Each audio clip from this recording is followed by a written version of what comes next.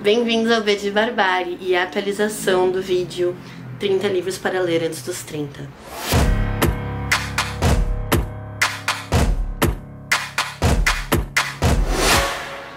Bom, pessoal, não sei se vocês lembram da proposta que eu fiz, mas em 2022, no meu aniversário de 27 anos, eu me propus a todo aniversário meu trazer uma lista de 10 livros que eu leria naquele ano até chegar aos 30. Então seriam três listas de 10. E a ideia é que essa lista fosse cumulativa, ou seja, se eu não li, eu vou ter que lidar com isso no futuro e eu vou acrescentando os livros da nova lista.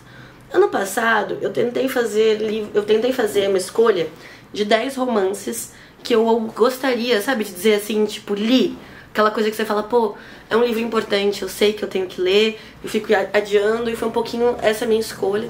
Tentei também mesclar um pouco autores. É muito curioso, né?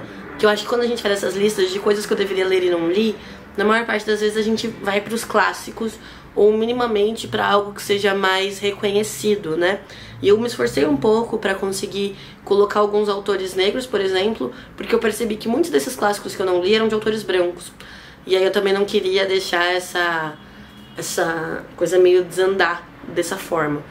Mas eu já dei spoiler de que eu não li a lista dos 10 mas eu vou assistir com vocês o meu vídeo e aí eu vou comentando com vocês ao longo do negócio. Vamos lá. Vamos ao V de Barbárie e a parte 1 do vídeo de 30 livros para ler antes dos 30.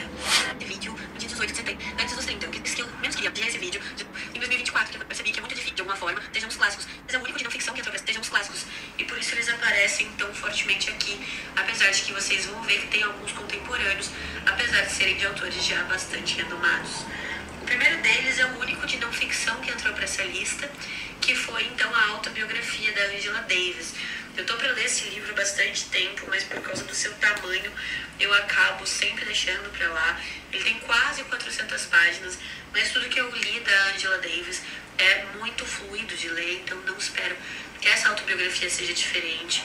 Uma questão muito interessante sobre ela é que ela escreveu essa autobiografia, Angela Davis, incentivada pela Toni Morrison. A Toni Morrison tinha essa questão política de convencer autores negros e falar para as pessoas para uma preservação da memória negra. Então ela conversa e pede para que Angela Davis escreva, porque ela entende a importância da Angela Davis para o movimento negro estadunidense. Depois eu quero. Tá, primeiro comecei bem, porque eu li a autobiografia da Angela Davis. Eu amei, é incrível. É um recorte muito específico da vida dela. Ela vai falar pra gente tanto da descoberta dela como mulher negra na infância, a compreensão do, do racismo ao seu redor, como do momento da prisão dela. Então é um livro que eu acho incrível.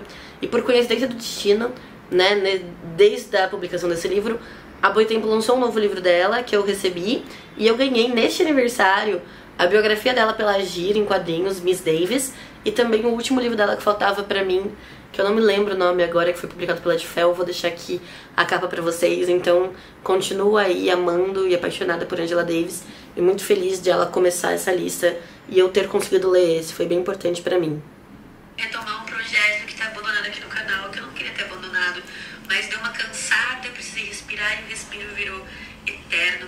Eu queria voltar a ler o Dostoiévski em ordem cronológica, então, o próximo livro da minha ordem cronológica seria A Aldeia Stepankov e seus habitantes, que eu tenho nessa edição da 34, com tradução do Lucas Simone e desenhos de Darel. Ele é um dos livros, um dos primeiros, assim, um pouquinho mais longos que os anteriores. Se vocês forem na playlist Lenda Dostoiévski, vocês vão ver que todos os anteriores eram mais fininhos, ali por volta de 100, 200 páginas. Esse aqui passa um pouco das 300, mas não chega a seus calhamaços gigantescos que o Dostoiévski vai escrever depois, então tranquilo. Mas eu quero então retomar Dostô. Espero gostar dessa leitura. Não é um livro muito conhecido dele e eu não sei do que se trata. E eu espero que essa leitura também um pouco assim, para poder me divertir dela. Cara, primeiro eu queria comentar que eu acho muito engraçado ver esse vídeo antigo meu e ver esse braço sem a parte colorida, né? Tava só riscado na época, eu terminei agora em janeiro.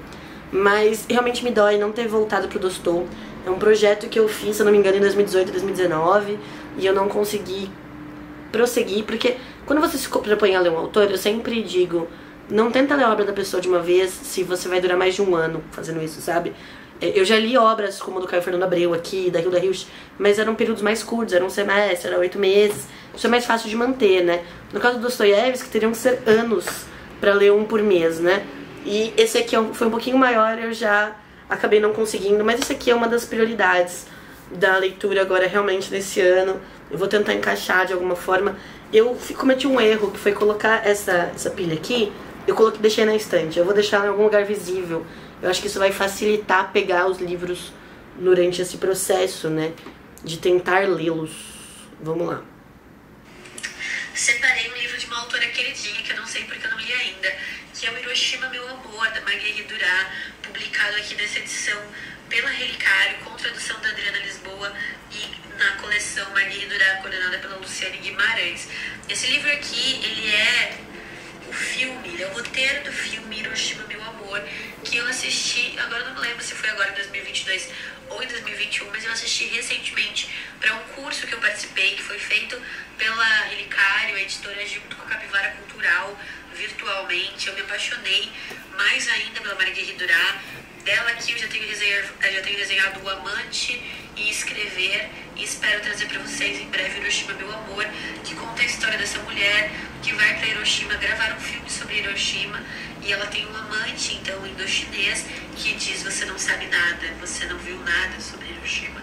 E ela insiste. E eles vão ter esse diálogo, e eles vão ter uma paixão proibida durante todo o livro, e eles vão discutir muitas questões de geopolítica naquela cama. É o que eu sei por causa do filme, e eu acho que vai ser bem fiel aqui, pelo que eu tenho visto. Eu li Hiroshima Meu Amor, e não só eu li Hiroshima Meu Amor, como eu acabei lendo outro livro da Marguerite Duras no meio do caminho, que é o Olhos Azuis, Cabelos Pretos, que vem junto com um texto não ficcional dela que chama A Puta da Costa Normanda. testando, um, dois, testando. Foi. Enfim, eu não resenhei nenhum dos dois aqui no canal, tá difícil de fazer resenha aqui. E, mas eu tenho registrado essas leituras e eu fiz comentários de leitura sobre os dois livros lá no Instagram. Eu tenho uma aba só de livros da Marguerite Duras e Hiroshima Meu Amor era tudo o que eu pensava mesmo.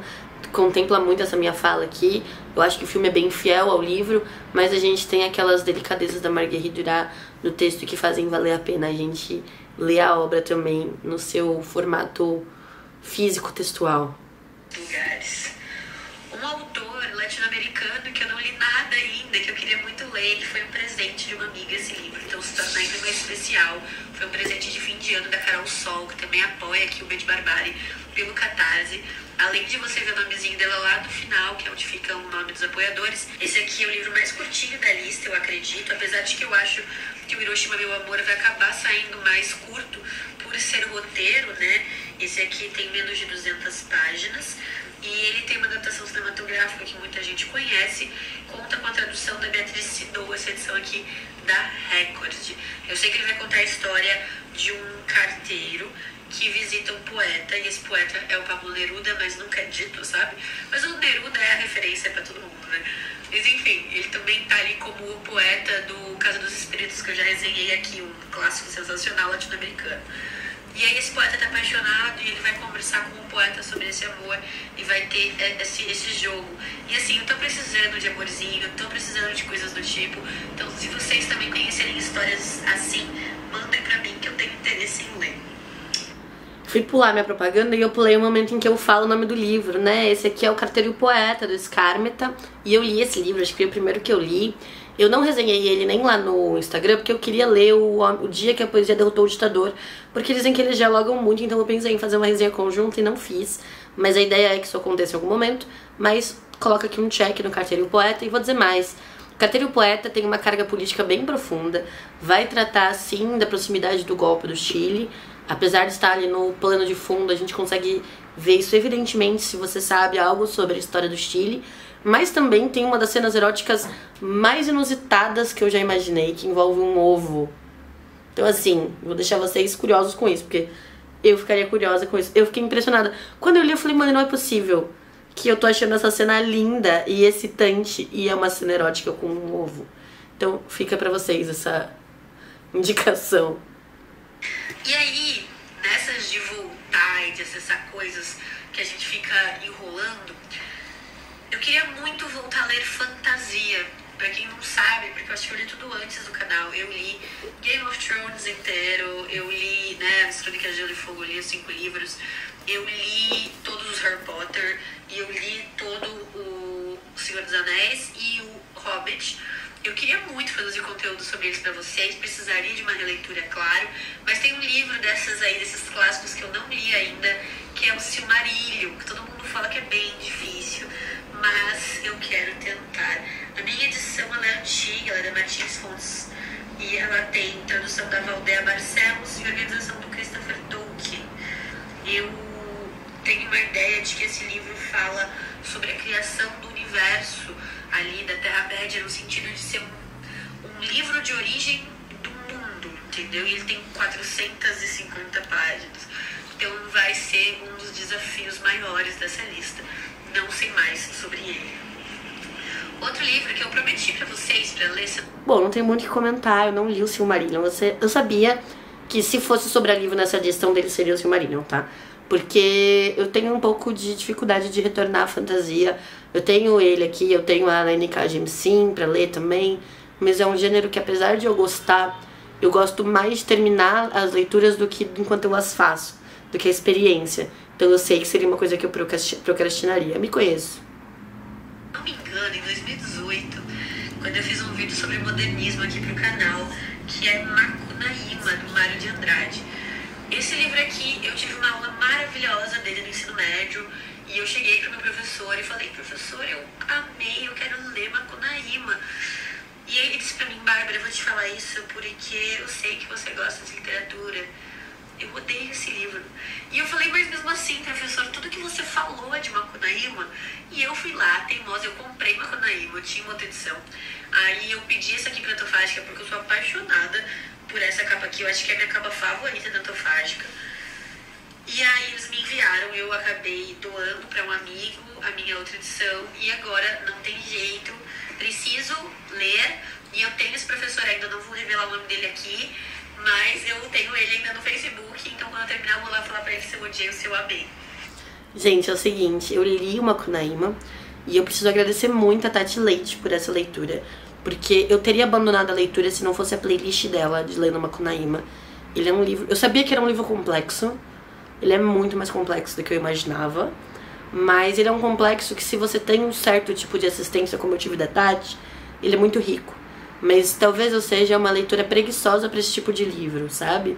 Porque ele, assim, eu acho muito difícil alguém ler ele e acessar ele completamente só por ele próprio. Então, assim, posso estar errada, mas é a impressão que eu tenho e a impressão também que vem de mim, eu não conseguiria. É, mas foi uma leitura que eu fiquei muito contente de, de realizar. Queria muito conhecer Mário de Andrade, quero ler mais coisas dele, porque eu sei que também Macunaíma é, é, diferente de muitas outras coisas que ele escreveu. Eu só li contos soltos dele, alguns contos clássicos de literatura LGBT, como Peru, de Natal tal. Mas queria ler outro romance dele, um Paulicéia Desvairada, um Amar Verbo Intransitivo, enfim. Mas eu fiquei feliz de começar por Macunaíma e por ter conquistado essa vitória que foi concluir. Então, se você já leu Macunaíma, não conseguiu, desistiu, ou mesmo leu, mas não entendeu muita coisa, veja a playlist da Tati do Valer um Livro Sério, recomendo muitíssimo, muitíssimo. eu acho que a última vez que eu li ele foi em 2017, que eu amo de paixão, é Machado de Assis. Aqui no canal eu desenhei pra vocês Quincas Borba, mas dele eu também li os mais clássicos, que é, então, Memórias Póstumas de Brás Cubas e o Dom Casmurro. E eu tenho dois livros dele aqui na estante, mas eu escolhi seguir essa leitura por Esaú e Jacó, porque esse aqui, esse livro aqui é muito citado como referência em livros que eu gosto demais, como por exemplo no livro Porco do Bruno Ribeiro, que está dizendo aqui. Ele é uma das referências bem explícitas. Esse livro aqui está numa edição é, especial da pacote de textos, que infelizmente não existe mais, mas que eu guardo com muito carinho. Foi o primeiro livro que eles me enviaram e é um dos que provavelmente eu vou ler primeiro, porque o comichão de ler Machado já estava forte antes de fazer essa. E realmente foi um dos primeiros, acho que foi o segundo livro que eu li, que eu comecei pelo Carteiro e o Poeta. É, e eu adorei ler Isaú Jacó. Foi uma leitura que se estendeu um pouco mais do que eu gostaria, mas que me lembrou de todas as coisas muito presentes em Machado de Assis que eu gosto muito. E eu fiz uma resenha dupla de Macunaíma e Esaú Jacó. Então vocês podem assistir aqui no canal, dê uma olhadinha lá nas minhas impressões dessas duas leituras. Pois, mais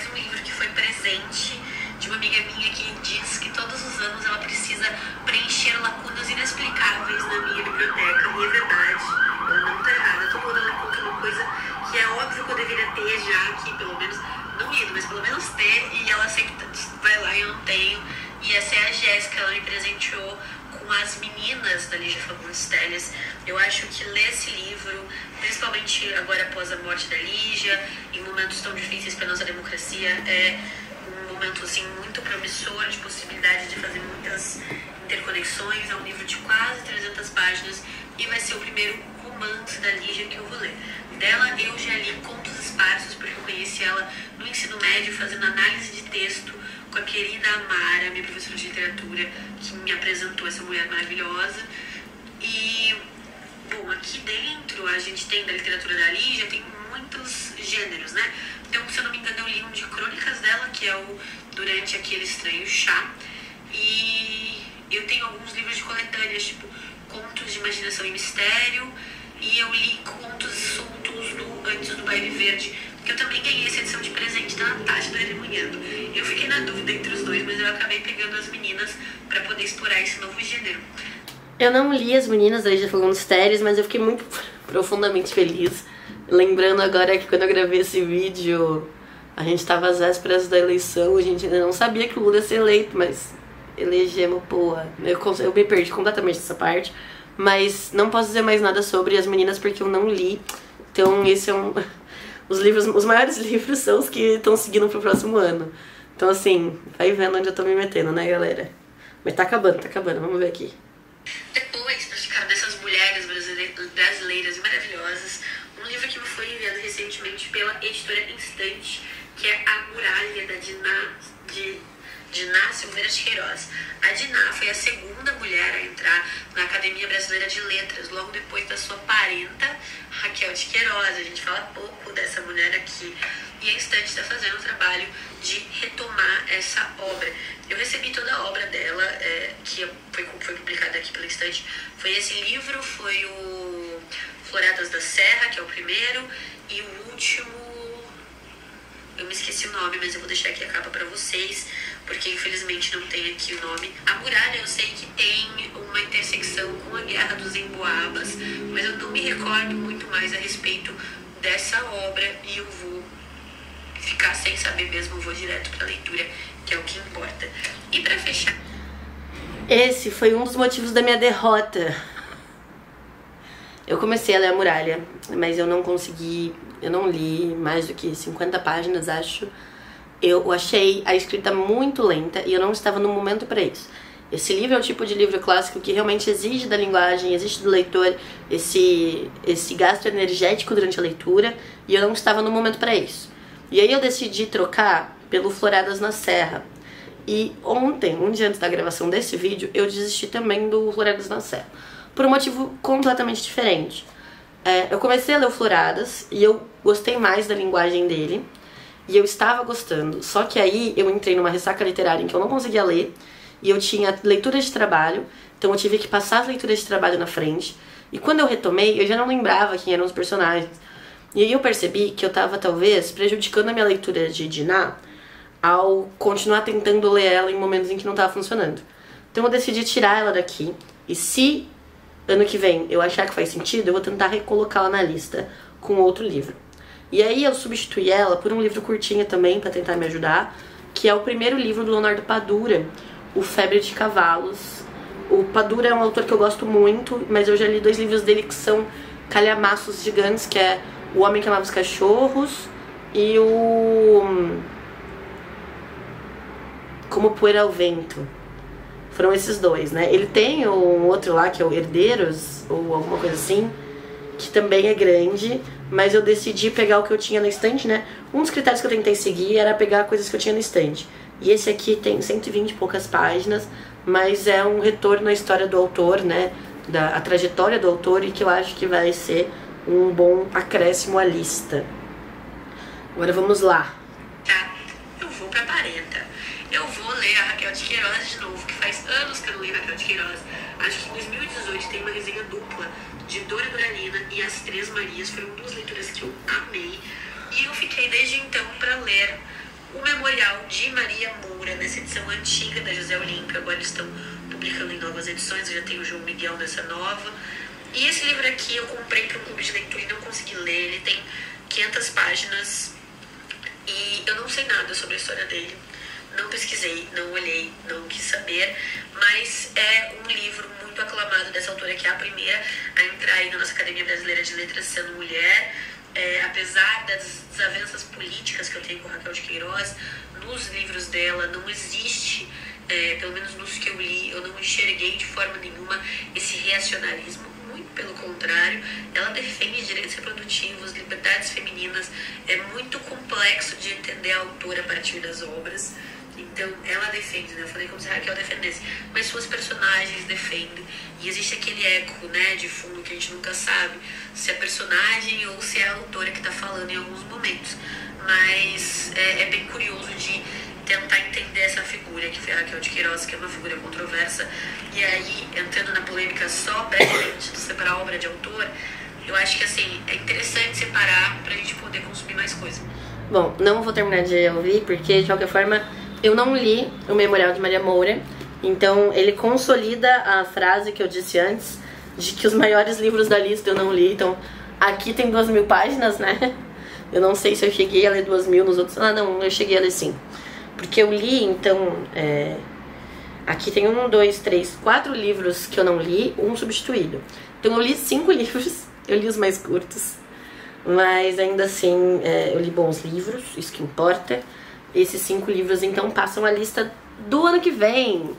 E a Bárbara do presente tá muito chateada com a Bárbara do passado. Mas eu tenho aqui a lista desse ano. E qual foi o critério da lista desse ano? Eu tentei pegar gêneros de literatura que eu tenho lido menos e que eu gostaria de ler mais. Então, o principal gênero desse é peças de teatro. Tá? Então eu vou começar aqui com um que eu, eu sei que eu tenho, mas eu não encontrei na minha estante. Então eu vou falar ele para eu não esquecer logo de começo, que é o Lisbela e o Prisioneiro do Osman Lins. Eu não conheço a obra do Osman, eu sei que muita gente diz que Lisbela e o Prisioneiro é um ponto fora da curva, né? Então se você lê Lisbela e o Prisioneiro, você não sabe exatamente muito sobre a proposta literária do autor, mas eu conheço o filme e eu também esse ano queria deixar algum amorzinho para esse ano. Então, Lisbela e Prisioneiro é meu amorzinho. Eu só sei que tem essa história, né? Que Lisbela se apaixona por um cara que é preso. Porque eu assisti também Lisbela e Prisioneiro assim, como é, outros livros muito novos, muito, outros filmes muito novos. Então eu não me lembro da história. Eu lembro daquela cena, né? Da Débora Falabella diante do. Esqueci o nome dele, bonito. É, Celton Mello, preso e tocando Caetano no fundo. Isso é o suficiente para eu querer ler esse livro e conhecer esse autor brasileiro. E aí, eu queria ler também, falando em autores brasileiros, cartas. Então eu peguei cartas do Graciliano Ramos. Esse livro aqui tem, deixa eu ver, quase 400 páginas e ele tem a correspondência do Graciliano, que foi um autor de esquerda e que passou por diversas questões, foi preso. Então, para além da obra dele, que eu só li Vidas Secas até hoje, mas eu preciso ler mais coisas, a própria história de vida do Graciliano é muito interessante e eu quero retomar essa leitura pelo livro de cartas com essa edição linda que eu recebi da Record. É, também quero ler literatura erótica, porque eu tenho lido pouco. E uma autora que eu li há muito tempo e gostei, eu li Henry e June dessa autora, é a Anais Nin. Então eu separei aqui a obra principal dela, que é o Delta de Vênus, Histórias Eróticas. É um livro curtinho, né, da LPM Pocket. Tem 300 páginas nessa edição de bolso mas que deve ser uma leitura muito fluida, pelo que eu me recordo do Henry e June. Mas eu também não sei muito mais sobre o livro. Eu só me lembro de gostar muito da Naisnin, principalmente pelo viés de que ela é uma autora bissexual, né? E do Henry June, ela expressa muito bem isso da relação com diferentes corpos, diferentes gêneros, e como bissexual isso me representa bastante. É, eu também quero ler um que eu não tenho aqui, que é o Casa de Bonecas do Henrik Ibsen. Então eu vou deixar aqui as, a foto de algumas edições.